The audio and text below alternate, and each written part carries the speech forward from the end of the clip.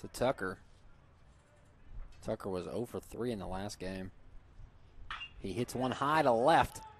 We'll see where it ends up. And that is a big fly. That ball is G O N E gone. Stanley Tucker, with his fourth home run of the season, leads off with a bomb against Ty Ringo.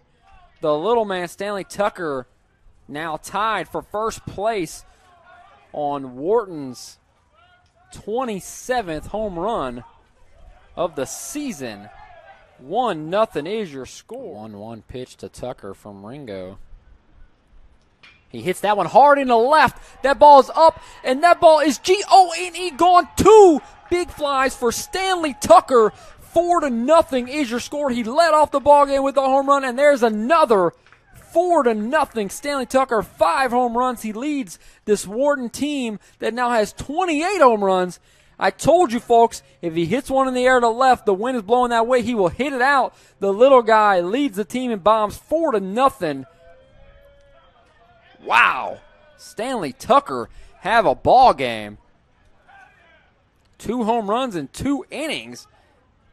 Three RBIs as he has put the team on his back already in this one. Herman, And now- Herman hit his second earlier.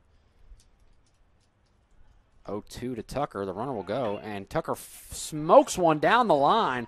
That is going to be a double at least, and a run will score. Tucker have a ball game as he has a double.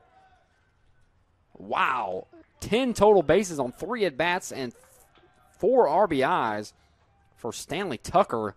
Have a ball game here in the top of the fourth.